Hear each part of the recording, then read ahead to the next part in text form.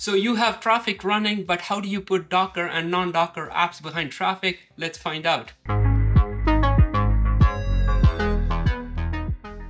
Welcome back Geek Army, Anand here once again. This is it, this is the climax. We're gonna put some apps behind Traefik today. It was a long wait to get to this point, but I promise you it's going to be worth it when we get done today. But first, just a few housekeeping notes as I have said like a broken record many times, I've put in a lot of effort and money into making these videos and every little bit of support from you helps. So please like, subscribe and hit the notification bell so you know when my future videos come out. And more importantly, check out the membership options I have on my website so I can continue to do what I really love doing. Okay, back to the topic. If you haven't watched my previous videos, please check out the link to the playlist in the description below. If you ever feel lost, that link will come in very handy and it will be very hard to find such detailed videos on this topic. So far, we have a wonderful Traefik version 3 dashboard running. In my last video, we saw how to use middlewares and middleware chains to make it even better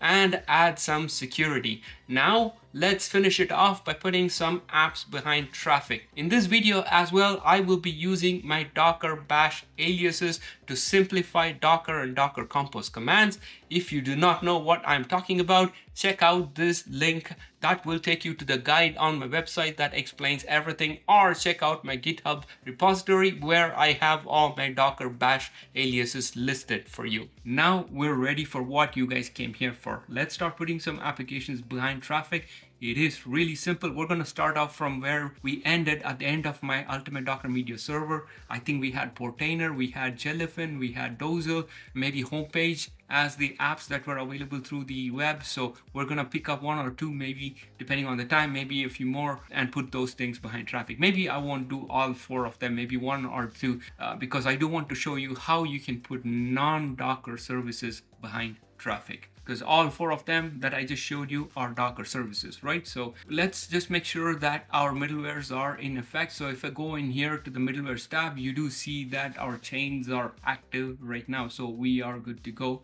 with the chains. Let's go back to my terminal. So if I do dps, which is basically sudo docker ps, it shows only two of my services are running. And if I go to my master docker compose file, which I haven't opened yet, so I should open it, let's uh, let's navigate back to my docker root folder. There it is.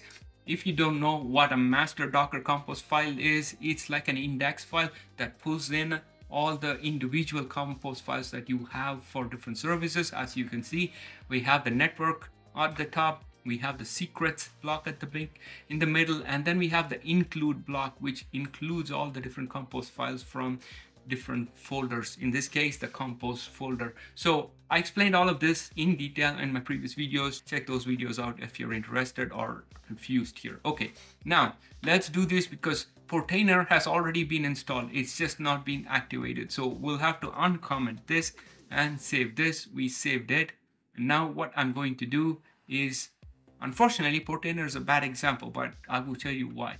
Let's do it anyways Okay, so we activated it. Now I'll have to start my stack. Two services are already running, Portainer is not. So if I do sudo docker compose up dash d with the file path included, I can do that, but I, am going to use my bash alias as I said that. You can see there are some services that are already running and those that are not running are starting right now. Let's make sure that Portainer is actually up. Okay, so if you remember the IP address or the IP address of my I can't type while I'm talking 187 was the IP address. And if I type 9000 I should see Portainer no thank you Microsoft Edge. Here right here is the Portainer login page. I haven't really created anything, but what I'm going to do right now is we're going to put Traefik behind one of the chains. Unfortunately, in my experience, Portainer doesn't work well with basic authentication. The pop-up is going to keep coming and coming and coming and you will have to keep logging in again and again for every screen. So Portainer is a bad example to put behind basic authentication. We're gonna still put Portainer behind Traefik, but just not with basic authentication. So how do we do that? For this, you know what? I'm gonna head over to my uh, GitHub repo so you can you can see how you can copy paste code. So let's copy over Docker labels. So how do we put Docker services behind Traefik? It's using labels. So let's copy the labels section of it. Everything except that labels section should already exist based on the previous videos that you may have followed. So we'll copy paste that. There are a few things that you need to edit. The first one is the domain name variable, which is domain name underscore one. So we're to do that. We do not have Google OAuth installed yet. So we're to put no auth because as I said, Portainer does not work with basic auth. So we did change the chain and then what else do we change here? I think everything is okay, except maybe for you to put any service behind Traefik, you have to have the service as a part of the Traefik network. What is the Traefik network? If you remember from my previous video, it's T3 proxy. So we are going to add Portainer as a part of this network right there. So I think we added that. Let's save it. I'm going to save it right now. And while we're at it, let's just add one more. Homepage is a good example because the syntax on that one is slightly different and it's nice for you guys to see how I use it. So homepage right there, once again, we'll copy the labels and we are going to open the homepage Docker Compose as we did for Portainer. And once it opens, we're going to paste it right there. Once again, the domain name variable, we're going to change it to that we do not have OAuth. So in this case, we're going to put it behind basic auth. So we change that. Now we do need to add the Traefik network. So we'll add Traefik proxy. If you don't add Traefik proxy, you might get a gateway timeout error. And this is because Traefik cannot reach Portainer container or the web interface and you're going to get a gateway timeout. Again, maybe this is something that I will cover in that next video that I just mentioned a few minutes back on troubleshooting Traefik. So let's save this. Now, one difference here is notice this syntax right here is different from what I had for Portainer. For Portainer, I had just portainer.simplehomelab.com. For homepage, I am using just the root domain and the www domain name. So basically homepage is like an entry point into my home lab. That's the first page. So I just want simplehomelab.com to take me to my homepage interface. Same way www.simplehomelab.com goes to the homepage interface. So let's save this as well.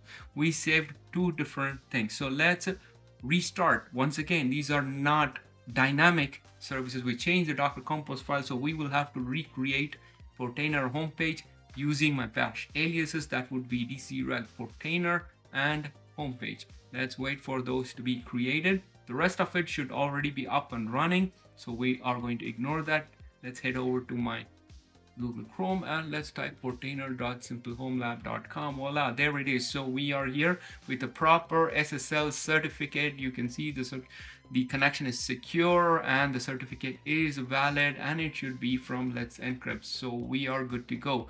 Then let's also try just simple simplehomelab.com, okay? 404 not found. Why is that? Oh, I know why. I think whenever you see a 404, that means the service is not reachable or is away is not available.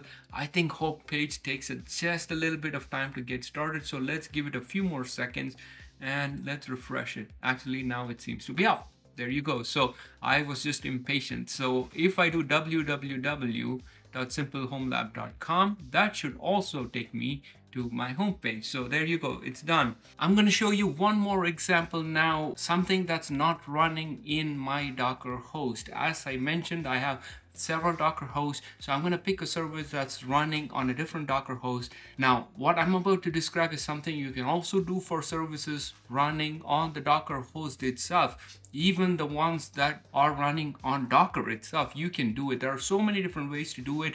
This is why it sometimes is overwhelming. Here, let's take something that's running on a different Docker host and we're going to try to put it behind Traefik which is running on a different machine. Let's see how to do that. Okay, for this we will have to use file providers. File providers, as I explained, are the files that go into the rules folder of Traefik and are dynamic. So Traefik really picks them up just like that, no need to restart, and all the routes should already be established. For this, we're gonna head over to my GitHub under Traefik 2 or Traefik 3. The syntax is pretty much the same. You can go to any of the folders here into the rules folder. You will see several examples of file providers. So anything that starts with app dash is a file provider for an app that may be running on the Docker host or a different machine but you see the middlewares, you see the chains, and then app is just the router and service and the middleware definition for an app. So let's pick anything. In this case, we're gonna pick something that is running on HTTP. We're not gonna pick any service that is running on an HTTPS protocol. And those would be services that have a self-signed certificate like UniFi Controller, Proxmox, web interface, things like that. Those require a different way of doing things. I don't want to make this video too long. I will cover that in my next video, so watch out for that. So for now, let's pick something. Let's take, uh, let's say, AdGuard Home we in fact you know what i do have our adguard running so we can even put adguard behind Traefik. so let's do that right now so i copied that script or yaml code and let's go over to my sftp browser right there create a new file and we're gonna call this app add adguard home.yaml okay so we have add adguard home.yaml created let's open this one up and we're gonna paste the file provider code that we just copied. We have to make some edits. Let's just call it AdGuard. If you want to change all the names for AdGuard as they are appearing here, then so here I'm calling it AG for subdomain, that's fine. The only thing we here we need to change is my domain name variable, which is domain name underscore one. And I will quickly go back to my Traefik.yaml right here in my previous Traefik guide if you guys remember we passed in domain name underscore one as an environment variable into the Traefik container at that time i didn't explain what this meant i just said this is beyond the scope of this guide let's talk about it in the follow-up guide and that's what i'm doing right now we are passing in the domain name as a variable into the container and it becomes available for Traefik to use in file providers like so. In this way, you don't have to put your hard code, your domain name in, and we can use the variable to call the domain name. So, but the syntax is slightly different. This is how we're gonna, this whole thing is actually the variable that takes that domain information from the domain name underscore one variable. I hope you guys got it, but okay, let's leave it at that. Now we do not have OAuth installed, so I'm gonna change it to basic auth. Okay, and what else do we need to change here? Now, this should be the IP address of the machine that is running at AdGuard Home. So this would be one dot oh I it's 1.102 I think let's try it and see what happens so uh, nothing else to change here. Of course, if you're doing the same thing for another servers, feel free to change the name AdGuard just as highlighted here in three of the locations where it appears. There's normally three different locations where you have to change if you're using the templates that I'm providing and you have to change the domain and you have to change the URL and you have to change the middleware. So that's it. So let's save this and I'm going to say yes. Since it's a dynamic configuration, it Traefik should automatically pick up. And let's see if it did right here. So i'm going to click on that right now and i can see a lot of different things here the the middlewares it's using. So let's head over to my chrome right here. That's open. I'm going to say ag.simplehomelab.com and i get my login prompt. I'm going to log in.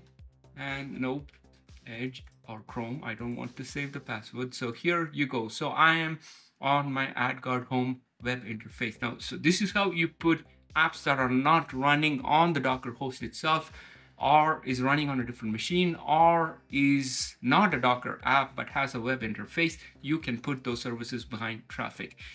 Now, very quickly, if I if I can show you, um, if we were to do the same thing using auto Traefik, all you have to do is go over to reverse proxy and you have an option to put an external app behind Traefik. in this case I will provide the subdomain as AG and and the IP address where the service is running 192.168.1.102 and probably there's a protocol HTTP protocol so the port number port number was 80 and that's it. Now auto Traefik will automatically create everything for you all the routes for you. It's so simple to put apps behind Traefik using auto Traefik. Today we covered a lot of things. I apologize for it. It became another long video, but I hope you guys find this kind of stuff interesting. If you do find it interesting, let me know in the comment section. You want me to do shorter videos, longer videos, let me know your opinion. I am really interested to hear back from the community.